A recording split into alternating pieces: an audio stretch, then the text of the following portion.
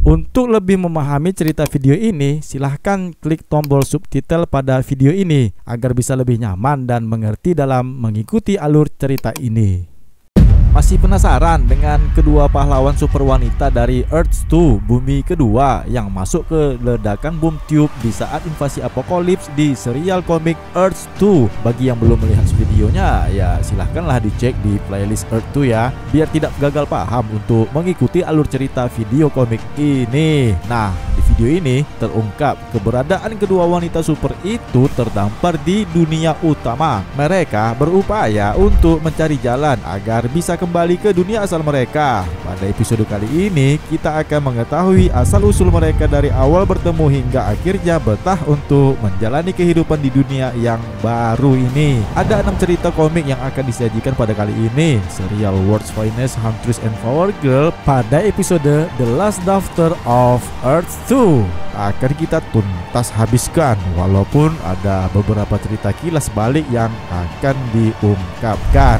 Oleh karena itu, inilah DC Indonesia akan menceritakan World Finest Huntress and Power Girl The Lost Daughter of X2.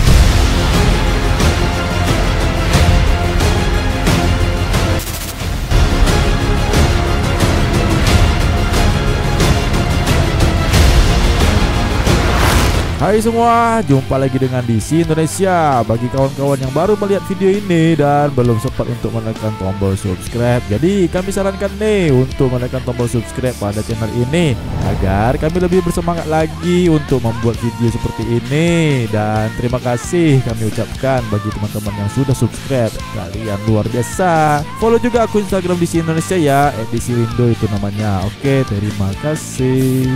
Let's kill this love. Cerita The Last Daughter of Us 2 ini sebagai 6 buku cerita komik. Dari cerita komik World Finest Huntress and Power Girl. Langsung saja kita masuk ke ceritanya Karena video ini panjang kali. Gak usah berpanjang-panjang lah Langsung saja kita masuk ke ceritanya. Let's go! Untuk pertama, kita tentu saja masuk ke bagian pertama terbit pada tanggal 2 Mei tahun 2012 cerita oleh Paul Levis dan digambar oleh George Perez dan Kevin Maguire yang berjudul Rebirth.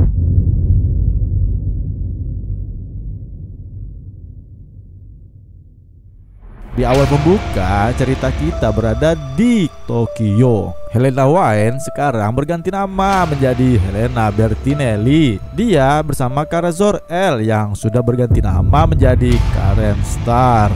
Karen baru saja menyelamatkan Helena dari segerombolan mafia yang menyerangnya di Italia. Kemudian mengajak temannya itu untuk keluar agar bisa makan malam di Tokyo.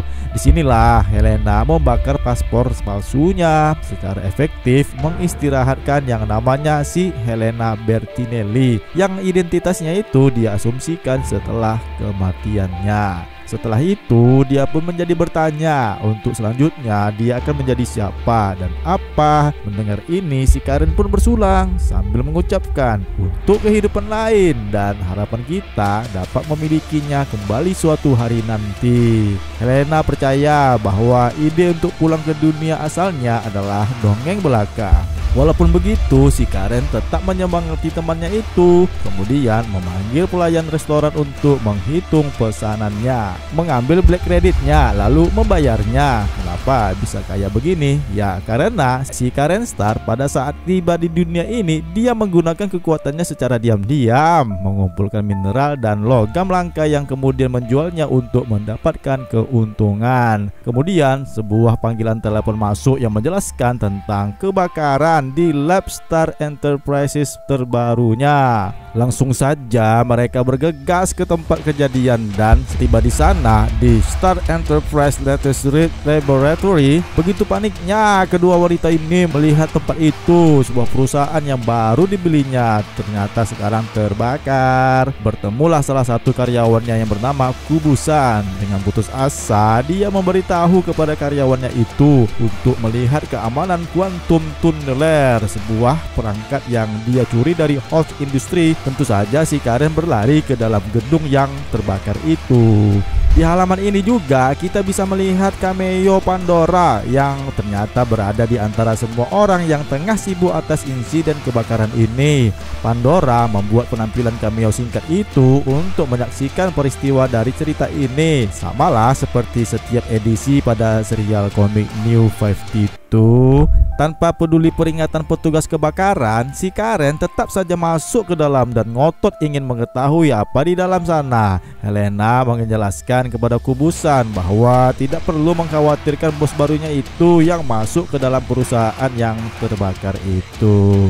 Kemudian si Helena mengikuti Karen dan menyuruh kubusan itu untuk menyelamatkan karyawan yang lain saja. Dia pun menggantikan kostumnya. Ya, kali ini tidak kostum si Robin tapi kostum terbarunya di dunia ini yaitu Huntress dan mengingatkan bahwa tidak semua orang yang memiliki kulit baja terpaksalah dia menggunakan kostum hero-nya di dunia ini. Saat menyelidiki tempat kejadian, Helena menemukan titik pembakar yang akhirnya menunjukkan bahwa bahwa penyebab kebakaran api itu bukan sebuah kecelakaan. Helena pun kemudian menyusul si Karen dengan pakaiannya yang banyak sobekannya itu ya terlihat seksi. Karen berdiri dengan putus asa menatap perangkat yang diharapkannya itu akan menjadi kunci untuk membawa mereka kembali ke rumah. Inilah dia namanya quantum tunneler yang sekarang sudah menjadi reruntuhan. Di sinilah akhirnya kita dapat mengetahui seperti pada cerita Earth 2 isu kedua Michael Hort alias si Mr. Terrific berhasil membuat mesin portal ke bumi kedua yaitu namanya Quantum Tunneler adalah hasil proyek Michael Hort dan si Karen Star ini sebagai transformasi untuk masuk ke bumi kedua dan jelas ya Penyebab insiden kebakaran ini adalah Mr. Terrific yang menggunakannya terlebih dahulu dan berhasil masuk ke bumi kedua.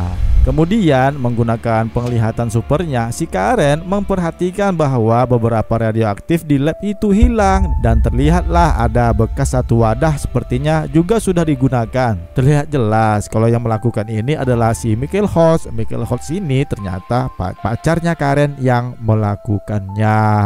Helena kemudian meminta Karen untuk berganti kostum karena pakaian yang digunakannya sekarang ini terlihat tidak layak untuk digunakan. Karen pun menjawab, "Ih, dasar pemalu."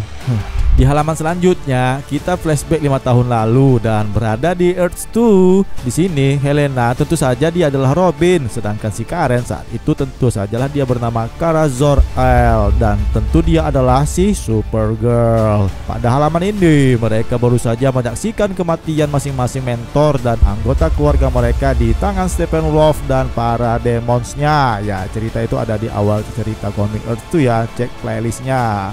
Tetap saja hanya beberapa saat setelah Helena Wayne menyaksikan Batman ayahnya sendiri meninggal, kedua wanita itu dikejutkan oleh kemunculan bom tube yang muncul. Mereka melihat sosok yang lain di dalamnya lalu mengejarnya. Namun apa yang ada di dalam portal bukanlah yang mereka harapkan. Mereka menemukan diri mereka jatuh dari langit dan terhempas ke lautan samudera. Si Karen pingsan dan si Helena menyeretnya ke bibir pantai. Ketika Karen terbangun, si Helena mengungkapkan bahwa mereka tampaknya telah berakhir di dunia yang sama sekali baru mereka tempati, yaitu dunia yang memiliki pahlawannya sendiri. Helena menunjukkan sebuah berita koran Daily Planet, yaitu sosok Superman dari bumi ini terlihat seperti masih muda. Mereka menyadari bahwa ini bukanlah mimpi buruk, ini adalah kenyataan kenyataan mereka memasuki dunia yang berbeda. Di halaman selanjutnya, 59 bulan yang lalu, si Helena dan si Karen terlihat sedang melintasi zebra cross di jalan raya. Tanpa sengaja, sebuah mobil yang akan menabraknya kemudian menyentuhnya. Terlihat ada bekas tangan di mobilnya itu. Secara tidak sengaja, terlihatlah ada bekas tangannya di mobil itu.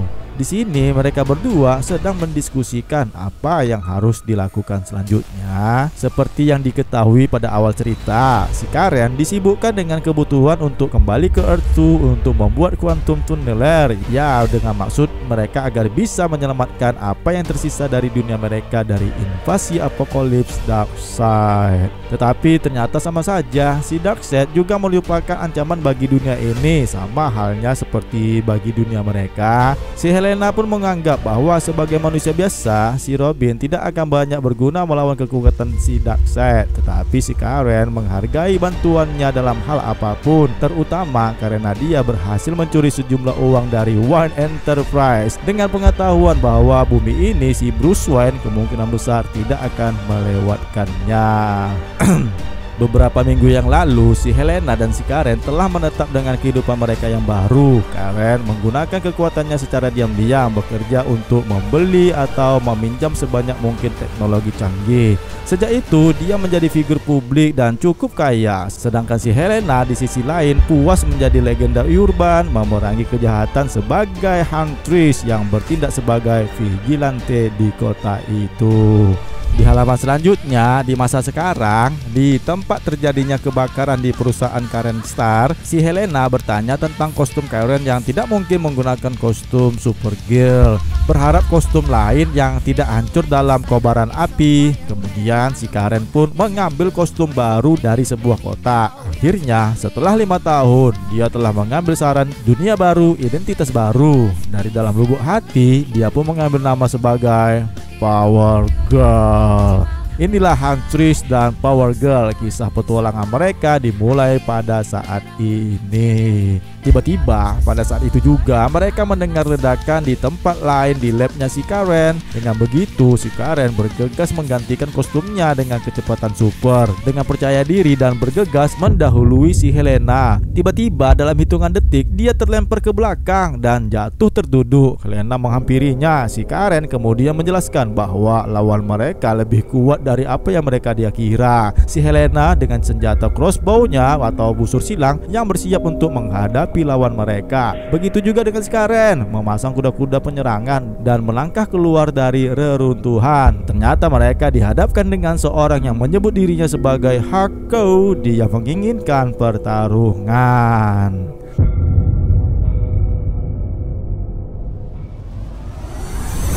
Kemudian kita masuk ke cerita komik selanjutnya yaitu bagian kedua terbit pada tanggal 6 Juni tahun 2012. Kali ini berjudul Rebirth Through.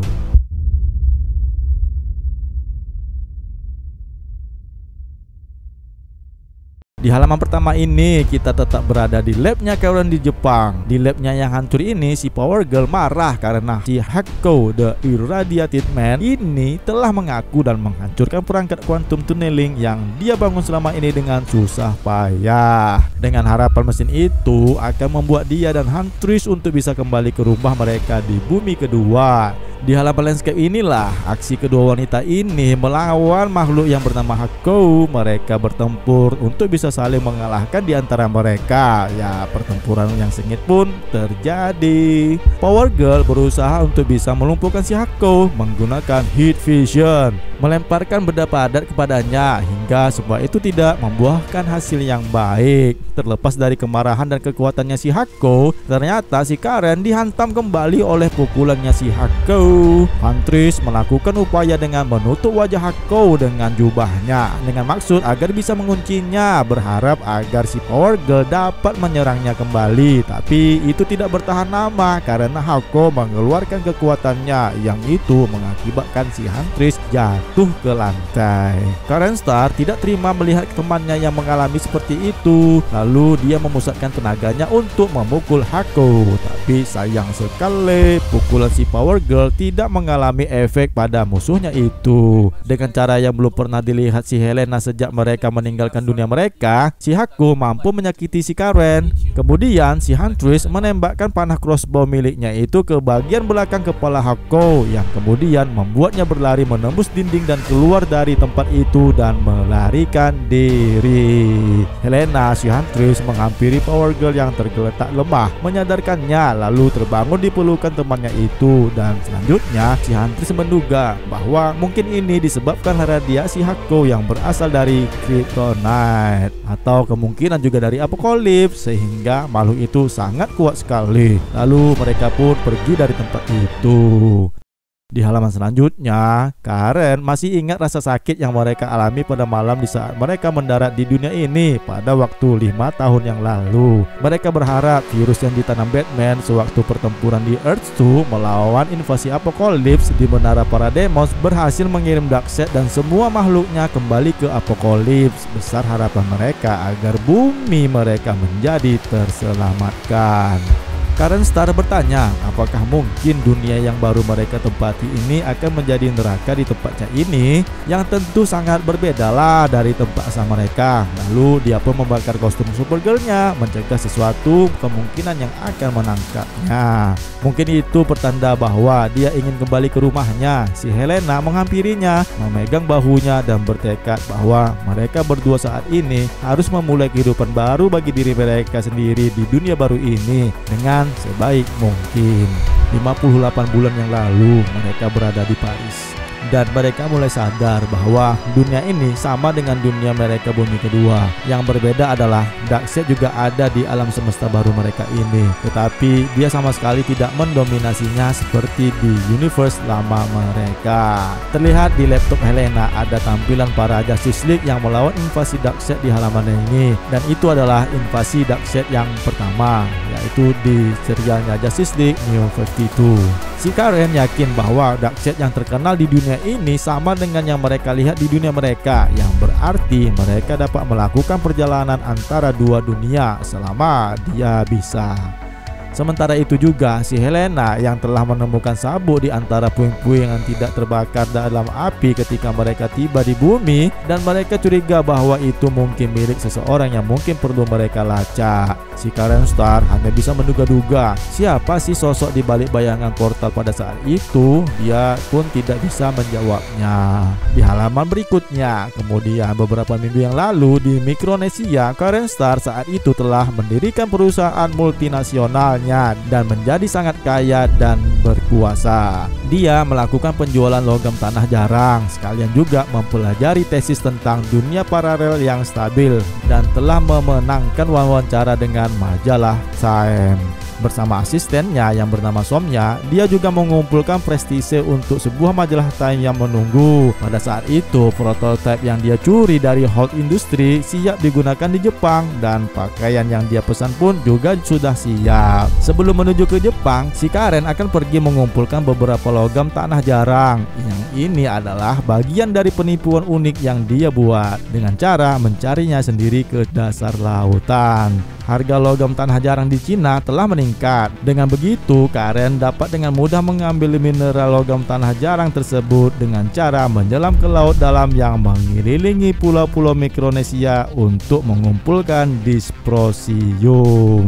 Fisiologinya membuatnya secara unik mampu menahan tekanan tinggi dari laut dalam, memberinya monopoli di pasar. Setelah menyeret batu besar dysprosium ke permukaan, asistensi Karen yang bernama Somnya memberitahukan bahwa Karen saat ini harus memberikan bantuan kepada temannya ya si Helena sekarang untuk melarikan diri dari Italia. Kemudian di halaman selanjutnya, pada saat ini si Karen dan Helena sedang menggunakan peralatan khusus untuk melacak sinyal yang diciptakan oleh radiasi Hoku. Tidak mungkin radiasi nuklir karena Karen kebal, dia menyimpulkan bahwa dia harus berhubungan dengan pengikut mereka. Sementara itu di halaman selanjutnya di Gotham City National Bank, seorang pialang memperhatikan bahwa ada tiga kali transfer yang identik sebesar 387 ribu dolar yang dilakukan dari rekening yang sama dalam waktu singkat. Tentu saja itu memicu kecurigaannya. Kembali ke Helena dan Karen. Dengan melihat penglihatan tembus pandangnya, si Power Girl ternyata melihat Hako yang terdeteksi oleh alat pelacak si Helena yang kemudian memperingatkan si Karen untuk menjauh dari Hako dan menggunakan panahnya untuk mengalihkan perhatiannya. Dia memperhatikan sepertinya itu adalah petunjuk yaitu tentara apokaliptian dalam bentuk gaya bertaruhnya dan terus memancingnya. Pertarungan pun terjadi. Hako menyerang Huntress dengan keadaan yang sangat marah. Tiba-tiba si Power Girl menabraknya, kemudian terjatuh menimpanya dan kemudian membantingnya ke tanah. Saat Power Girl memukulnya, ternyata Hako melepaskan ledakan yang sangat kuat dan membuatnya berteriak.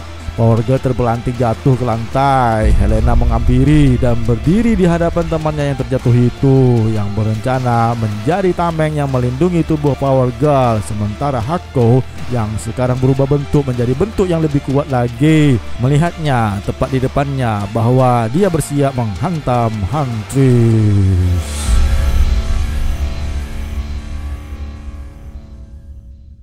Selanjutnya kita tentu saja masuk ke bagian ke cerita yang ketiga yang terbit pada tanggal 6 Juni tahun 2012 ya kali ini berjudul Rebirth Tree.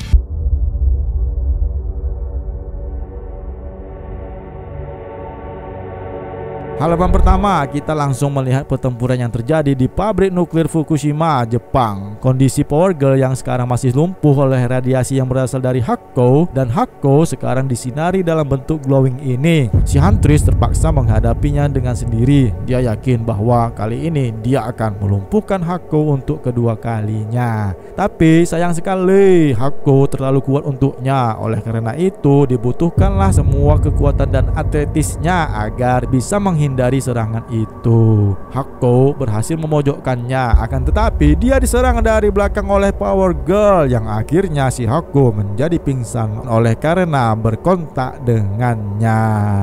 Gangguan itu memberi Huntress cukup waktu bagaimanapun untuk melepaskan panah ke pipa pendingin di atas Hako. Cairan dari dalam menghujaninya. Alih-alih melakukan fungsi yang dimaksudkan itu, cairan itu ternyata memberinya kekuatan yang lebih banyak lagi. Oleh karena itu, dia terkontaminasi oleh limbah radioaktif. Karena kekuatannya itu terlalu besar untuknya, eh rupanya si aku melarikan diri. Si Huntress menyeret Power Girl keluar dari runtuhan radioaktif dan meskipun peringatan temannya itu bahwa dia tidak boleh berada di dekat pabrik saat ini, akhirnya mereka berdua pun mengejar si Hako. Saat Power Girl membawanya melintasi langit, si Huntress mengetahui bahwa Haku sepertinya mengerti bahwa mereka sebenarnya mereka berasal dari dunia lain. Si Power Girl juga menunjukkan bahwa dia sengaja menghancurkan quantum tunneler yang ini memberikan kepercayaan pada teorinya bahwa ada orang lain yang datang melalui portal ke dunia ini bersama mereka. Di halaman selanjutnya, 45 bulan yang lalu, yaitu sekitar 4 tahun yang lalu, si Karen Starr dan Helena Bertinelli berada di London. Helena telah melakukan penelitian dan dia menemukan bahwa Batman di dunia baru ini, yaitu di bumi utama, memiliki cukup banyak tim pendukung termasuk Robin. Si Karen mengeluh bahwa tidak ada penelitian yang akan membuat mereka lebih dekat ke rumah mereka, mencoba menghindari berita yang tersebar tentang Kryptonian yang berada di bumi ini. Sementara itu, sabuk yang mereka temukan di titik kedatangan tidak merespons tes karena percaya bahwa itu pasti apokaliptian. Helena pun menjadi frustasi karena paranoia si Karen tentang para demons dan memutuskan bahwa mereka harus berkumpul kembali dalam waktu satu bulan.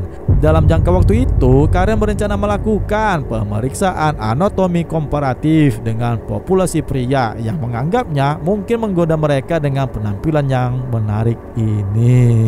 Selama bulan itulah si Karen mulai mencoba mempelajari bahasa pemrograman dengan sering membaca buku-buku untuk memahami cara menjalankan simulator dimensi, berharap agar bisa membawa dirinya dan temannya si Helena Wine yang sekarang menjadi Helena Bertinelli untuk bisa kembali ke rumah mereka yaitu di planet Earth 2. Ternyata dengan melakukan hal ini akan terlalu banyak pekerjaan dan waktu yang akan dia lakukan dan setelah melakukan sedikit riset dia menyadari bahwa dia dia bisa menggunakan uang untuk membayar lebih banyak orang-orang cerdas agar bisa melakukan pekerjaannya untuk dirinya. Dia pun keluar dan melihat seekor kucing yang kemudian membayangkannya bagaimana jika seorang pintar yang memelihara kucing itu. Selanjutnya kita berada 24 bulan yang lalu, berarti ya sekitar 2 tahun yang lalu dong. Ya di sini dengan idenya untuk mempekerjakan orang-orang pintar, akhirnya si Karen Star telah mendirikan fasilitasnya yang berada di Mikronesia. Akan tetapi para penelitinya seperti yang disampaikan oleh asistennya si Somya, para pekerja jenius mereka hanya mampu membuat sedikit perkembangan dalam bidang dimensi alternatif. Selanjutnya asistennya itu menjelaskan lagi bahwa ada sebuah laboratorium miliknya si Michael Horst yang di mana telah membuat kemajuan pada area pekerjaan tersebut. Meskipun ia terkenal sangat suka bekerja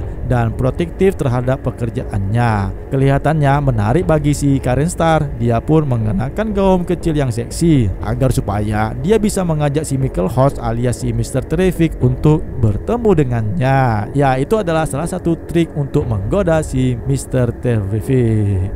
Di halaman selanjutnya kita berada di masa sekarang yang di mana Power Girl dan Huntress sekarang terbang menuju ke Tokyo. Di saat mereka sedang terbang berdua yang diarahkan oleh Power Girl, tiba-tiba dia menjatuhkan Huntress di tempat yang aman. Ada sesuatu yang lebih penting untuk diselamatkan. Ternyata Power Girl melihat sebuah pesawat tempur lepas kendali dan berhasil menyelamatkan pilotnya. Kemudian setelah itu dia pun kembali menghampiri temannya yang dia amankan di tempat tadi. Di saat itu si Huntress menunjukkan bahwa ada sejumlah pesawat seperti itu yang berkumpul di Ginza. Penglihatan teleskopik si Power Girl mengungkapkan bahwa para militer yang ada di sana ternyata sedang melawan musuh mereka yaitu Hako. Yang di mana paparan cairan pendingin yang mengkontaminasinya itu sekarang telah membuatnya jauh lebih kuat.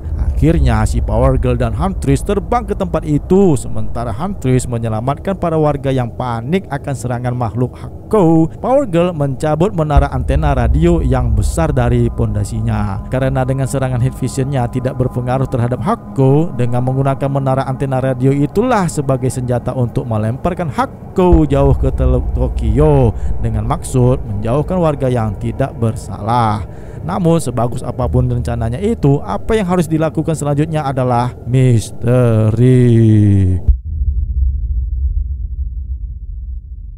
Selanjutnya kita masuk ke bagian keempat yang terbit pada tanggal 1 Agustus tahun 2012 Cerita oleh Paul Levis dan digambar oleh Josh Perez dan Kevin Maguire yang berjudul Rebirth Conclusion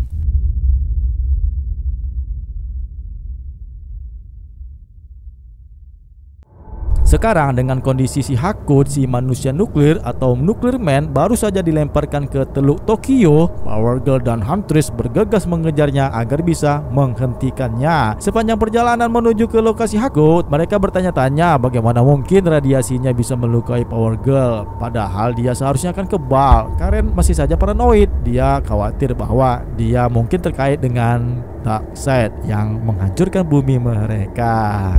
Berpikir bahwa dia telah melemparkan Hako di tempat di mana dia bisa melakukan lebih sedikit kerusakan, ternyata di luar dugaan. Karen terkejut melihat beberapa banyak kerusakan yang dia lakukan pada kapal-kapal yang ada di lautan. Helena memintanya untuk dijatuhkan di salah satu kapal yang utuh untuk memulai upaya penyelamatan sementara si Power Girl menghadapi ancaman nyata di hadapannya itu. Untuk itu, langkah pertama yang akan dilakukan Power Girl adalah mencoba untuk menangani tumpahan minyak yang merupakan hasil kerja si Hako.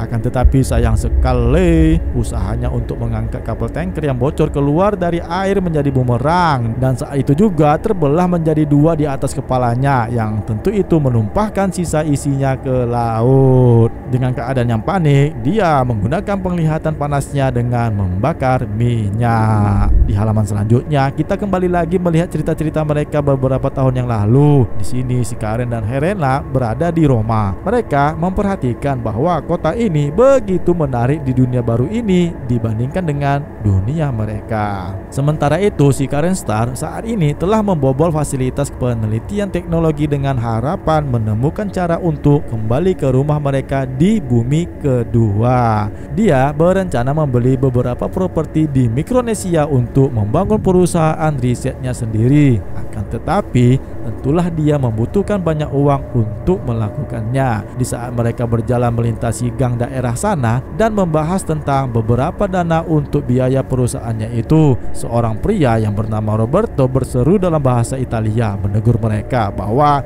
dia mendengar mereka sedang membutuhkan uang dan mencoba membawa mereka dalam pesta narkoba. Karen Star yang anti dengan narkoba itu, dia meniup kokain kembali ke dalam mobil mereka agar membuarkan orang-orang yang ada di sana. Tentu saja si Roberto menjadi marah dan menampar wajah Karen Star. Tiba-tiba, eh ternyata tangannya itu merasa kesakit yang luar biasa. Si Karen mengambil mobil dengan satu tangan dan melambai-lambaikannya seperti ya mobil mainan. Tentu saja orang yang di dalamnya itu merasakan ketakutan yang mengerikan. Sementara itu, teman-temannya si Roberto malah mengancam temannya si Helena untuk bisa melampiaskan kemarahan anggota si Roberto. Yang ternyata urusan itu ya diserahkanlah kepada si Helena sendiri. Sambil mencicipi es krim yang dinikmatinya, si Helena membuat preman kroco-kroco ini menjadi pingsan semua. Sementara si Karen lebih parah lagi, dia menghancurkan mobil. Ya, di sinilah Helena mengaku bahwasanya dia merindukan keseruan di saat menghajar preman. Di halaman selanjutnya, di tempat kediaman Helena terlihat semakin gelisah. Dengan sedikit kesempatan untuk melatih latihannya, dia menghabiskan sepanjang malamnya meneliti pria dan wanita yang akan menjadi orang tuanya jika ini adalah dunianya. Ya, kedua orang tua itu adalah Batman dan Catwoman di dunia ini, tapi dia tidak pernah bisa berbicara dengan mereka karena tentu saja mereka tidak akan pernah percaya akan ceritanya. Dia merindukan kehidupan lamanya yang menjadi vigilante di dunia asalnya dan sebuah halaman dari majalah yang menggambarkan keefektifan panah memberinya ide. Seperti Karen Star yang menumbuhkan kucing di komik sebelumnya. Di sini dia juga menganggap kucing yang terlantar di tempatnya inilah kemudian sebagai menjadi teman hidupnya dengan harapan agar si kucing ini ya bisalah menemaninya. Bagaimanapun juga dia tetap merindukan kehidupan masa lalunya. Kembali ke masa sekarang yang sedang terjadi keseruan aksi terhadap kedua pahlawan wanita ini. Setelah mengambil sekian banyaknya orang yang selamat, Huntress meminta kapal yang dikomandoinya itu untuk membawanya lebih dekat ke hak Sang kapten kapal menolaknya, mengatakan kalau Huntress ini sudah gila. Kapten kapal ini tidak menerima permintaan si Huntress itu, berusaha untuk fokus menyelamatkan para awak kapal yang tenggelam di lautan. Sementara Power Girl mengembalikan perhatiannya ke Nuclear Man lagi. Akan tetapi, sebuah kapal terdekat menembakkan rudal ke Hako. Ternyata Hako mengarahkannya ke Tokyo dan tentu itu memaksa si Power Girl untuk mengejarnya. Namun Akhirnya rudal itu boom meledak tepat di hadapannya. Di balik ledakan si Huntress melihat dengan teropongnya. Ternyata ya Power Girl masih bertahan. Helena menyadari bahwa pencacah Geiger, sebuah alat pengukur radiasi kapal, menunjukkan padanya sebagai radioaktif. Dengan begitu tentu akan mengambil sumber radiasi yang lebih kuat lagi di dekatnya. Kapten kapal menjelaskan bahwa ada kapal penjelajah rudal Amerika Serikat di dekatnya yang membawa nuklir taktis. Huntress memutuskan bahwa dia perlu naik ke kapal yang dimaksudnya itu.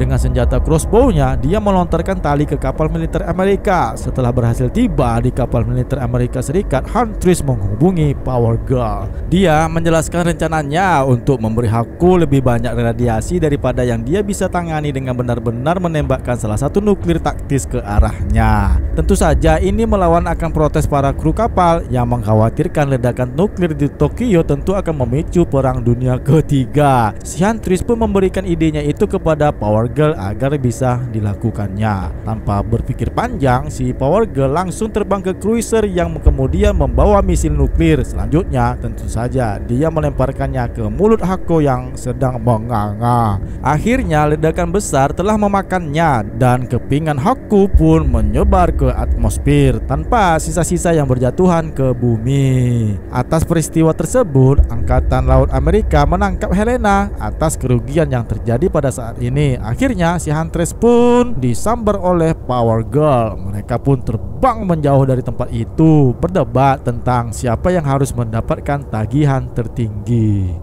Akhir pembicaraan mereka masih membahas keparanoidan si Power Girl bahwa si Hako itu anak buah Darkseid.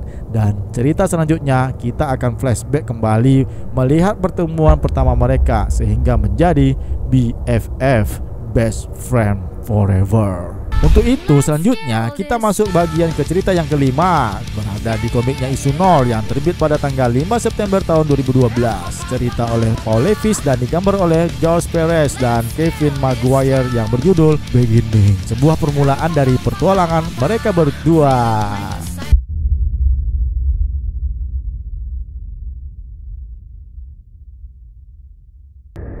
Di awal pembuka cerita, kita melihat pada halaman ini bagaimana Robin dan Supergirl yang berada dari bumi kedua ini akan diungkapkan. Disebutkan dalam cerita ini kita berada di bumi kedua, tepatnya beberapa tahun yang lalu sebelum invasi apokalips ke dunia mereka. Terlihat Helena Wayne mengenakan kostum Robinnya sedang menunggu instruksi mentornya untuk segera bersiap melakukan aksi vigilantenya. Aksi ini dilakukan pada malam hari. Ternyata dia melakukan penyelamatan penculikan seorang wanita terhadap kriminal jalanan. Dia berhasil melumpuhkan para penjahat kriminal tersebut tanpa mengucapkan terima kasih. Si Sandra berlari meninggalkan si Robin. Ternyata mentornya itu adalah ibunya, yaitu si Catwoman. Memutuskan bahwa sudah waktunya baginya untuk mencoba memerangi kejahatan dengan caranya sendiri sebagai Robin tanpa pengawasan ayahnya, si Batman yang selama ini menghabiskan lebih banyak waktunya untuk melatihnya. Pada tamasya pertamanya itu, si Helena yang menjadi Robin telah menunjukkan keterampilan dan ketepatan yang luar biasa dan tidak membuat kesalahan sama sekali. Tentu saja ibunya menjadi bangga. Dan keesokan harinya kita berada di Wayne Manor. Si Bruce Wayne bagaimanapun juga tetap tidak menerima anaknya yang semata wayang itu. Masih gadis belia menjadi vigilante. Dia pun memarahi istrinya si Selina Kyle yang membawa Robin anaknya itu beberapa saat yang lalu. Terjadilah percecokan di antara kedua orang tua itu. Si Helena melihat keributan orang tua menjadi senyap. Ternyata keributan orang tuanya itu berakhir kepada ciuman kedua orang tuanya yang tentu membuat si Helena menjadi ya agak risih. Di halaman berikutnya kita berada di Mikronesia. Superman sedang melatih sepupunya yang cantik ini, Kara Zor-El, untuk menjadi senjata rahasia di bumi. Dengan datangnya ancaman Darkseid nanti, dia membutuhkannya untuk bisa membela diri dan lebih banyak belajar menguasai daripada sosok seorang Batman. Karena Darkseid sepertinya tahu lebih banyak tentang para pahlawan bumi, terutama yang bernama Superman. Sebagai kerabat terakhirnya yang tersisa, si Kal-El berharap agar sepupunya si Kara itu dapat bertahan hidup dengan cara yang tidak dimiliki istrinya, si Lois. Terlepas dari seberapa kuatnya si Kara, dia harus tahu bahwa Darkseid bisa saja menyakitinya. Kemudian dia pun pergi meninggalkan si Kara. Di halaman selanjutnya, mereka pun bertemu dan ada misi yang harus dikerjakan Superman di Roma. Sebelumnya, mereka membahas kehadiran Kara ke bumi ini dengan menggunakan kapsul planet Krypton. Kita beralih ke Gotham. Saat sedang seriusnya berlatih di Batcave, Helena Wayne dikejutkan oleh suara alarm. Itu adalah suara yang belum pernah dia dengar sebelumnya. Walaupun begitu, alarm itu adalah suatu kode masalah yang besar. Dia kemudian mengenakan kostumnya, mengetahui bahwa jika salah satu dari orang tuanya ada di tempat kejadian, tentu keduanya tidak akan menerima bantuannya. Akan tetapi, ketika dia tiba di tempat kejadian perkara, ternyata dia menemukan ayahnya berlutut di atas tubuh ibunya. Catwoman telah terbunuh. Si Batman menjelaskan bahwa Catwoman terlibat konflik dengan sekelompok mafia trafficking perdagangan manusia yang kemudian membunuhnya dengan senjata mereka.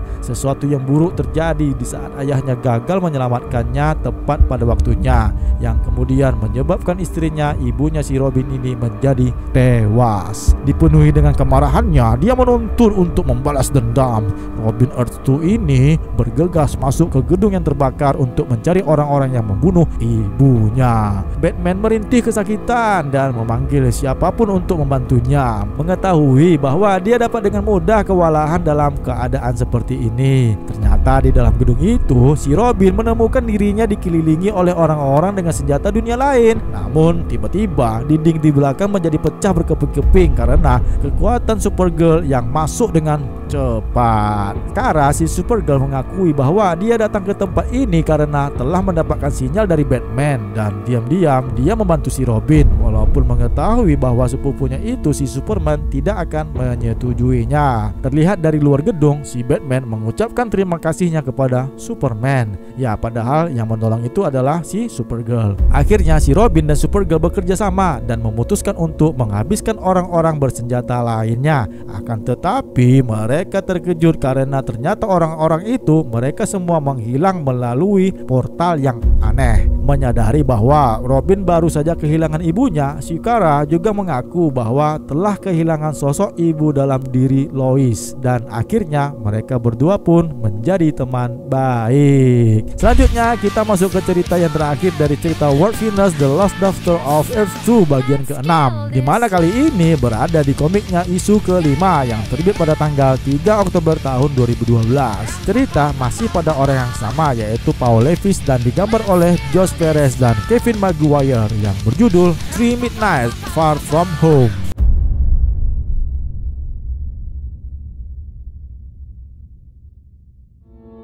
Di halaman pertama ini kita melihat si Power Girl ditembak oleh senjata sinar. Ternyata kita berada di lab barunya yang terbaru di Cambridge, Massachusetts. Di sini si Power Girl dan Huntress sedang menguji teknologi yang dimaksudkan untuk menganalisis efek radiasi pada kekuatan Power Girl. Sayangnya mereka sepertinya tidak dapat menciptakan kembali tingkat radiasi yang sama seperti yang dia alami ketika mereka melawan Hako di Jepang. Meskipun ada kerusakan signifikan pada kostum hero-nya si Power Girl. Terlepas dari niat si Helena untuk menyesuaikan diri dengan efek bumi yang baru ini pada mereka, si Power Girl percaya bahwa selama lima tahun ini mereka akan kembali ke dimensi aslinya walaupun entah bagaimana caranya. Sementara dia telah menyewa sekelompok jenius untuk memastikan hal itu akan terjadi. Pada kenyataannya baru-baru ini si Karen telah mengunjungi CERN yaitu sebuah organisasi riset nuklir Eropa yang berada di bawah pegunungan Alpen di mana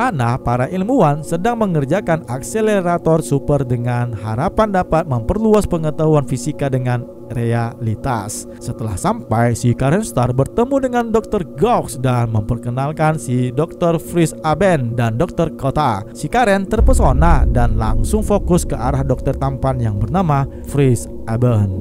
Si dokter tampan ini menuruti permintaan si Karen yaitu menerima ajakan si Karen untuk menunjukkan padanya sistem detektor atlas yaitu sistem eksperimental yang dimaksudkan untuk menjelaskan dimensi lain. Kembali ke Karen Star dan Dr. Fritz, si dokter tampan ini menjelaskan bahwa seluruh proses bisa memakan waktu bertahun-tahun untuk menghasilkan bentuk yang sempurna. Terlepas dari itu, si Dr. Fritz setuju untuk membawa Karen ke dalam tur deteksi atlas yang sedang berlangsung. Saat mereka berdua pergi ke ruangan detektor atlas, kedua dokter yang lainnya ini menggosipinnya. Si dokter kota tidak mengkhawatirkannya, hanya saja dokter wanita ini menyimpan sesuatu yang tidak senang menurutnya. Meskipun dokter Fritz terlihat menyenangkan hatinya, dokter itu hanyalah pengalih perhatian dari apa yang sebenarnya ingin dilihat oleh Karen. Dia menggunakan penglihatan X-ray-nya untuk menatap pedal gas. Tiba-tiba ledakan keras diikuti oleh kilatan cahaya dan si Karen yakin bahwa portal ke dimensi lain telah dibuka. Fritz meminta si Karen agar tetap di tempatnya. Sementara dia akan melihat ledakan itu dari dekat. Akan tetapi si Karen membuat Fritz pingsan dan menyelamatkannya keluar dari bahaya agar dia bisa mempersiapkan diri untuk menghadapi apa pun yang akan keluar dari ledakan itu. Ternyata yang muncul adalah robot yang keluar dari portal itu yang langsung menyerang si Karen dan Karen langsung berjuang agar tidak merusak peralatan mahal yang ada di sekitarnya.